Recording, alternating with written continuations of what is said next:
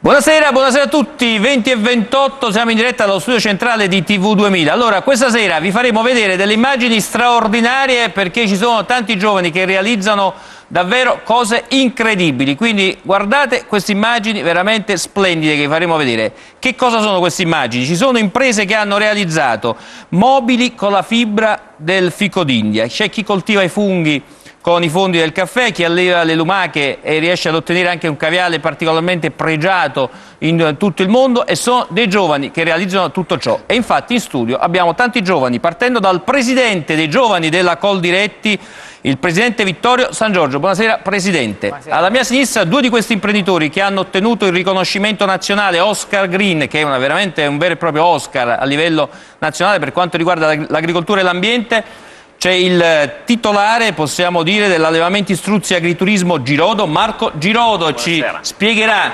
con lo struzzo che cosa riesce ad ottenere e poi Marcello Rossetti, titolare della Sicalindi e anche lì ci spiegherà eh, Marcello Rossetti che riesce la, a realizzare mobili con la fibra del fico d'India. Io partirei però subito dal Presidente San Giorgio.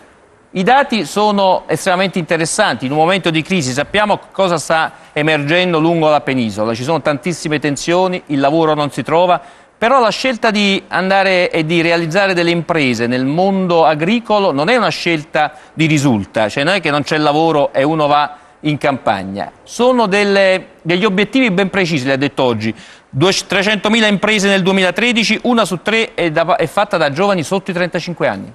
Una su tre è fatta da giovani sotto i 35 anni e questi giovani eh, riescono a mettere insieme e produrre il 17% del PIL del nostro paese, cioè circa 250 miliardi di euro in questo paese sono fatti da giovani come noi che quotidianamente si svegliano e producono e cercano di farlo crescere questo paese e penso che in un momento come questo dove l'Italia è allo sbando anche per queste manifestazioni che sta facendo è un bel segnale di propositività e forse anche un segnale di come si devono fare determinate cose in un paese come il nostro che deve ritrovare la strada giusta. Poi parleremo delle tante iniziative che avete presentato questa mattina, davvero tanti giovani entusiasti c'erano questa mattina a Roma premiati con, delle, con, una creatività, una fantasia che veramente è incredibile. Allora, iniziamo a parlare della vostra azienda e parliamo di ehm, Marco Girodo. Allora, hai deciso di lavorare, eh, di creare un allevamento di struzzi, ma di utilizzare tutto quello che era possibile, non solamente l'uovo di struzzo che vediamo qui rappresentato sul tavolo centrale, ma tra pochissimo anche la regia inquadrerà tutti gli altri prodotti. Perché ti è venuta questa idea? Sei giovanissimo, come ti è venuta l'idea? Perché è Gito? Quali difficoltà hai trovato? Ma diciamo che tutto è partito da, dall'aver scoperto gli struzzi per caso, diciamolo così. E poi con mia moglie abbiamo deciso di, di documentarci, di, di, conoscere meglio l'animale e nel 2002 siamo, siamo partiti con i primi capi. Eh, devo dire che è un animale che dà molte soddisfazioni. Noi siamo cresciuti nel tempo con lo struzzo, con molti sacrifici che però alla fine ci hanno premiato. La gente eh, ha capito, cioè acquista il prodotto, la carne di struzzo, cioè che ha delle particolarità interessanti? Ma la gente diciamo che ha capito, eh, recepisce il messaggio. Anche dal punto di vista della salute? Certo, assolutamente, anche perché noi abbiamo molti dei nostri clienti che vengono eh, vuoi per eh, chi ha delle carenze di tipo alimentare, visto che la carne dello struzzo è molto ricca di ferro e mm, comunque ha un tasso di colesterolo tra i più bassi sulla catena animale, quindi lei però in Piemonte non si è fermato, lei arriva dal Piemonte, non si è fermato alla, alla, realizzazione cioè di un allevamento di struzzi, ha deciso anche di sfruttare, usiamo questo termine, tutto quello che era possibile, anche quindi con una maggiore attenzione verso l'ambiente. Quindi escono fuori dal suo allevamento portafogli, eh, che altro, cinture, come certo. le realizza? Ma eh, noi nel, io abito in un piccolo comune, nel comune di Tavagnasco, e devo dire che dallo struzzo abbiamo cercato di ottenere il massimo, vuoi dalle uova, dalla carne, che viene poi anche trasformata per produrre dei salumi, salame di struzzo, e poi per ultimo, ma non per ultimo, eh, la pelletteria di struzzo, che sicuramente è una pelletteria che ha il suo pregio, eh, paragonabile anche al coccodrillo o al pitone se vogliamo. Eh, sicuramente... È costosa? Faccio una domanda un po'...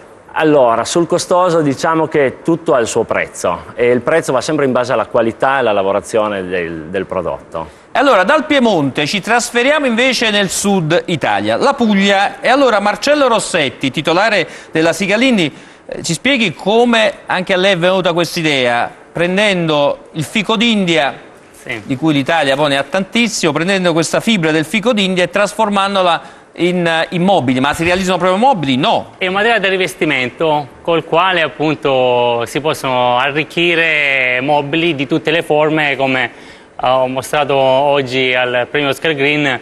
Eh, faccio un passo indietro, quindi come è nata l'idea, che era la prima cosa che mi stava chiedendo, è tutto è nato qualche anno fa notando questi piccoli fibri, eh, filamenti e fibre legnose che si vedono nelle campagne, si vedono però marcire eh, appunto sotto le piante derivanti da quelle pale che vengono poti, potate quasi annualmente da tutti gli agricoltori. Io notando questo filamento ho detto mi sembra troppo bello questo disegno per farlo marcire ogni anno. Cerchiamo ecco, se, modo... mostra, se ce lo mostra vicino alla telecamera, prego, prego, prego. Ho detto bisogna per forza trovare il metodo per eh, salvaguardarlo, eh, salvaguardarlo e non farlo marcire più. E dopo varie tecniche ci sono riuscito e quindi questo che vediamo non è la fibra che si trova tale e quale in natura ma ha già subito la lavorazione e il processo è pure brevettato, coperto dal brevetto, quindi è un semilavorato la lavorazione per ottenere questo già è complessa, noi andiamo oltre perché prendiamo il pannello di multistrato con i quali si realizzano tutti quanti i mobili di qualità e andiamo a rivestirlo e abbiamo creato una sorta di impiallacciatura, quindi si va ad arricchire, impreziosire il mobile, qualunque forma esso abbia, facendo un puzzle preciso, una fibra accanto all'altra. Lavorate solo per l'Italia o lei è giovanissimo a questa impresa o riuscite anche ad andare al di fuori dei confini nazionali? Allora il nostro showroom che si trova a Lecce eh, ci ha consentito di avere già il feedback uh, di altri eh, clienti stranieri e esteri, quindi abbiamo spedito, iniziato con le spedizioni di piccoli complementi d'arredo in tutte le parti del mondo, eh, però dobbiamo incrementare. Presidente San Giorgio, allora abbiamo visto queste due storie, poi continuiamo a parlare con questi giovanissimi imprenditori che hanno ottenuto questo riconoscimento importante. Mi colpiva questa mattina vedendo questi capitani d'azienda giovanissimi che qualcuno si è inventato che dal fondo del caffè, da quello che si utilizza nei bar, va a raccogliere i fondi dei caffè in tutti i bar e riescono a produrre dei funghi e riescono a venderli sul mercato.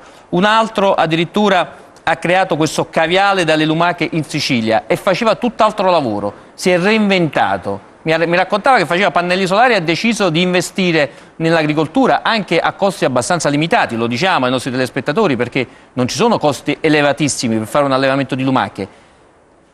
Come escono fuori in un momento di crisi così tante energie da parte dei giovani? È la disperazione o è la voglia di ribellarsi? Ma ehm, ecco, è una bellissima domanda perché ci sono vari modi di potersi libellare. Se noi abbiamo la capacità di mettere questa energia all'interno di un canale che poi porta produttività, tiri fuori dei giovani che vogliono generare delle piccole rivoluzioni.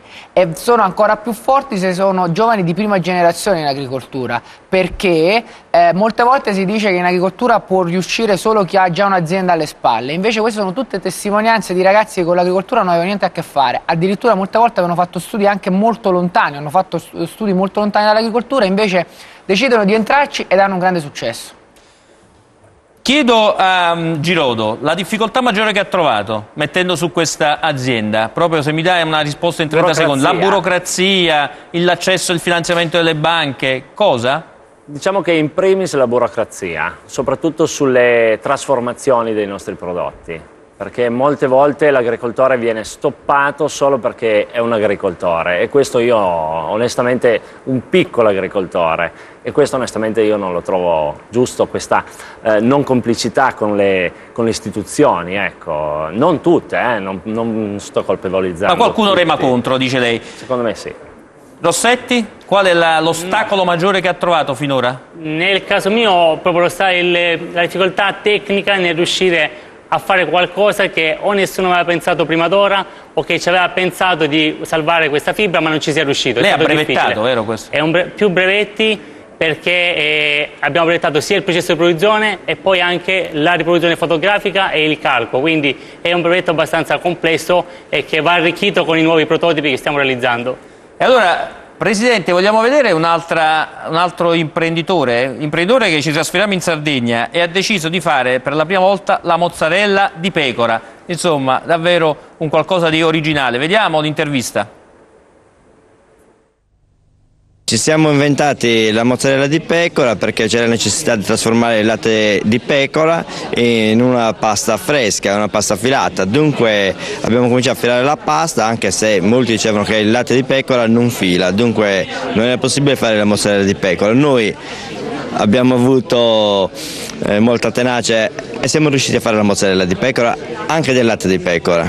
Che spazi ci sono per commercializzarla poi? Forse questo è il problema più grande? Ma penso proprio al contrario, se ci fosse una, noi che siamo eh, un'azienda piccola dunque abbiamo una produzione di nicchia, ma la richiesta è abbastanza larga e considerata perché è un buon prodotto, dunque eh, è anche un prodotto che sostituisce e va a dare possibilità agli intolleranti di mangiare anche una mozzarella, nonostante non, non potesse potessero mangiare. Dunque il mercato è abbastanza ampio.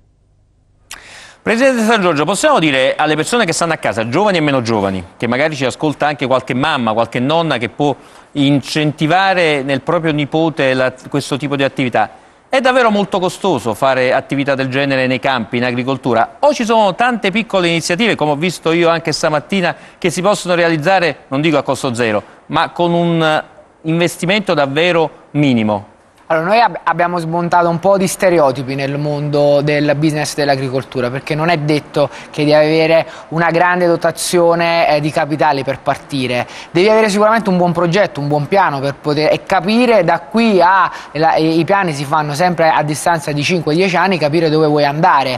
Eh, questi giovani, l'esperienza eh, parlava l'amico che produce eh, che alleva struzzi e produce uova, è partito nel 2002, quindi sono, partiti, cioè, sono passati 10 anni ed oggi comincia comincia a riscuotere un grandissimo successo in termini poi di crescita. Quindi la, più che ehm, fermarci su quelle che possono essere le difficoltà di entrata, io oh, parlerei mh, soprattutto di una crescita dell'imprenditorialità e della capacità dei giovani di formarsi per poter fare gli imprenditori. Ci sono strumenti anche di aiuto per chi vuole mettersi in proprio? Ci sono, noi abbiamo lavorato per quanto riguarda l'accesso al credito che è, una, eh, diciamo, è, il primo elemento a cui si pensa, abbiamo lavorato ad un progetto, a un piano che si chiama Progetto Giovani di mm, Coldiretti Credit Agri che eh, ha messo già nel 2013 un plafond dedicato per i giovani che vogliono fare start-up di 100 milioni di euro. Quindi 100 milioni di euro da parte di una grossa banca di questo paese che ha deciso di investire sulla genialità dei giovani che vogliono entrare in agricoltura. Quindi magari possono, le persone interessate possono in qualche modo vedere vostro sito o chiamare la Coldiretti? Noi abbiamo lanciato ieri il nostro sito proprio in occasione dell'Oscar Green, un sito rinnovato dove addirittura c'è la figura di un tutor che è il presidente dei giovani delle, delle, delle diverse province italiane che affianca questi giovani start-upper che vogliono iniziare in agricoltura.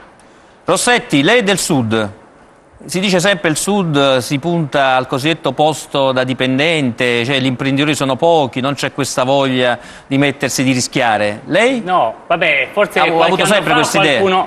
No, io ho avuto sempre l'idea di rischiare, che bisogna rischiare per fare qualcosa, per avere successo, avere altre chance. Comunque qualche anno fa forse uno pensava o ambiva ad avere il posto fisso, ora non più, eh, uno magari non ha il coraggio di rischiare e quindi cerca di fare qualche lavoretto eh, magari non improprio, però ormai hanno abbandonato l'idea di cercarsi il posto fisso, assolutamente.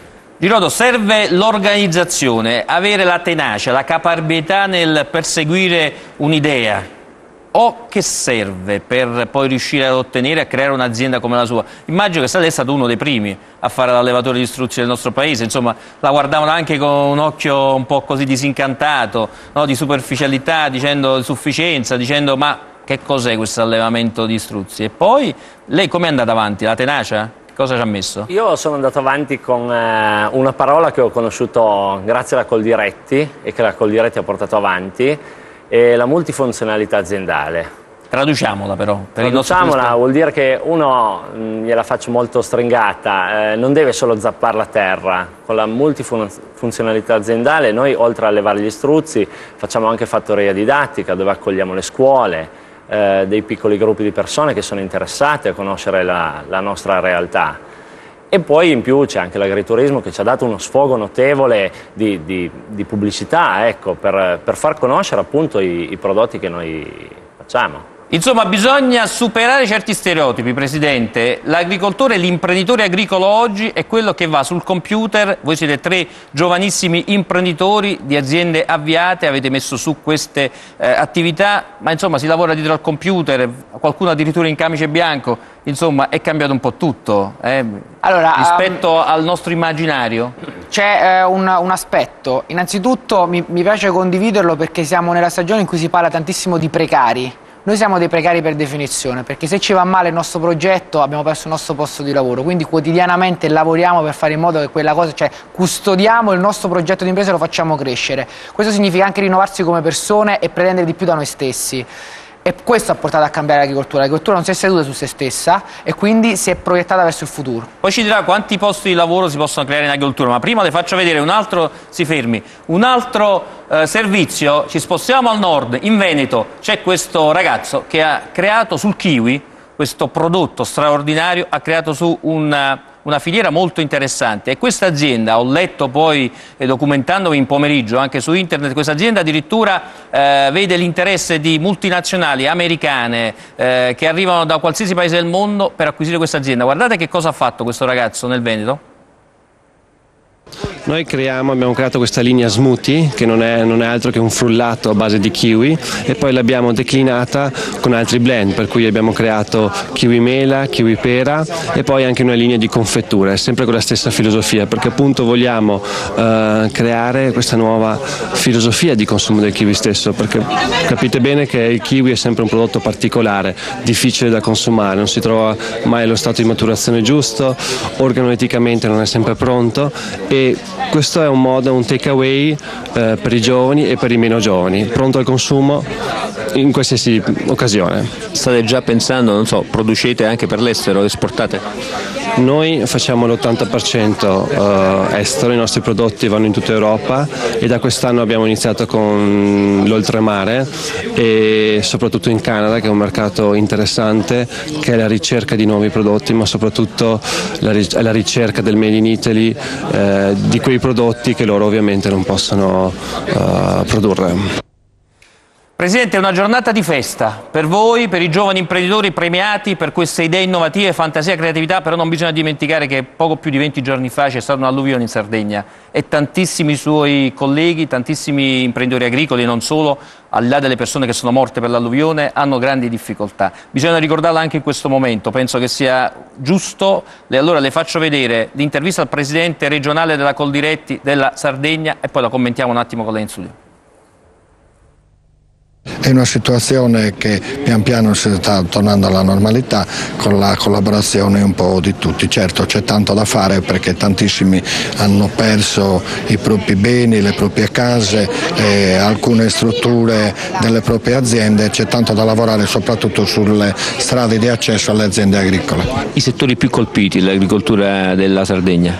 Ma I settori riguardano un po' l'ortofrutta, le piantagioni, quei territori che eh, ricadono appunto sui cigli dei fiumi che sono quelli maggiormente colpiti, in quanto si tratta di un danno circoscritto proprio a quelle aree, eh, per cui questi sono sicuramente quelli che hanno colpito maggiori danni, fermo restando che poi l'allevamento ovino che è sparso un po' in tutta la Sardegna ha subito dei forti danni, moria di bestiame, ancora oggi non si riescono a ritrovare tutti i capi, quindi chiediamo che le agenzie agricole sarde quanto prima di quantificare estimare con certezza i danni, a oggi ricadono 61 comuni del territorio regionale. Sono molto più fiducioso nella nostra caparbietà che non sulle decisioni politiche perché molto spesso, l'abbiamo visto anche in passato, c'è stata un'alluvione sempre in Sardegna e ancora oggi non tutti hanno avuto ristorati quei danni. Un doveroso ricordo perché non bisogna spegnere le telecamere su quello che è accaduto in Sardegna e eh, abbiamo visto con grande caparbietà vanno avanti gli imprenditori agricoli della Sardegna.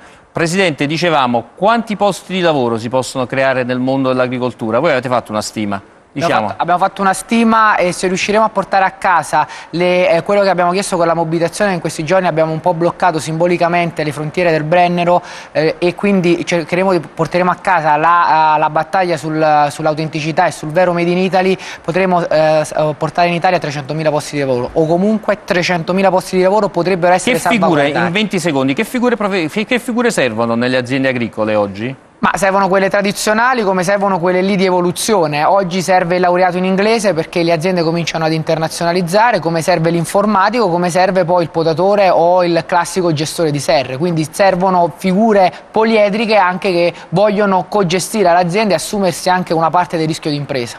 E allora ci fermiamo qualche istante, torniamo in studio con la domanda finale ai nostri due giovani imprenditori che hanno vinto questo premio davvero straordinario, Oscar Green 2013 della Coldiretti. Allora, qualche istante ci fermiamo e torniamo subito in studio.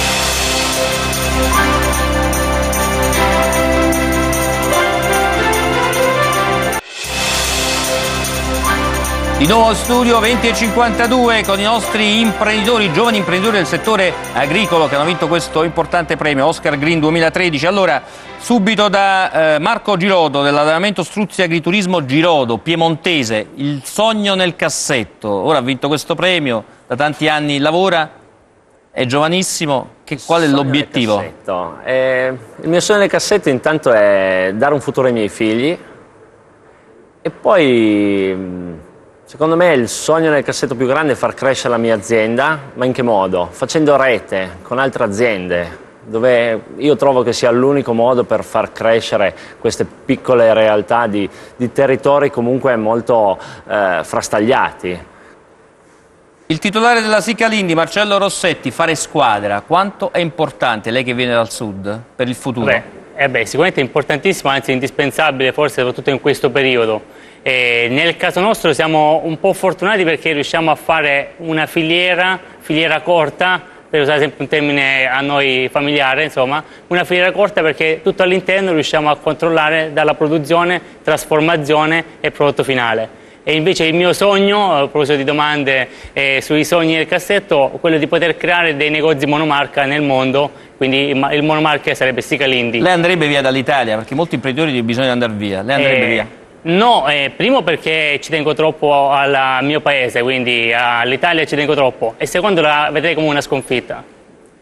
Ultima domanda, proprio telegrafica, abbiamo un minuto con il presidente dei giovani della Coldiretti, Vittorio San Giorgio. Vedendo tutte queste storie sostanzialmente siamo fiduciosi, no? vedendo anche tutto quello che accade giornalmente, però c'è una situazione sociale esplosiva come coniugare il tutto, come far rilanciare questo paese. Ne parlano tanti anche in questa trasmissione, però poi siamo sempre un paese fermo, immobile, ci sono tante potenzialità.